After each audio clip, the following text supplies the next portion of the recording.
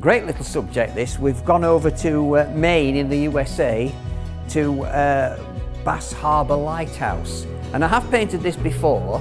Uh, it's already there as one of the tutorials, but quite different because it was a, it, it was a long, narrow picture whereas this is more of a portrait format. And now and again it is nice to, to, to do something, even though it's a landscape, to do it in, uh, to, to pick a portrait format. It works well that. Also, this time we've gone to another season. There's a little bit of snow on the ground, a crisp layer of snow just catching the tops of the rocks and very much giving us an interesting uh, foreground to work on. Uh, quite free, quite loose. I think you're going to really enjoy this.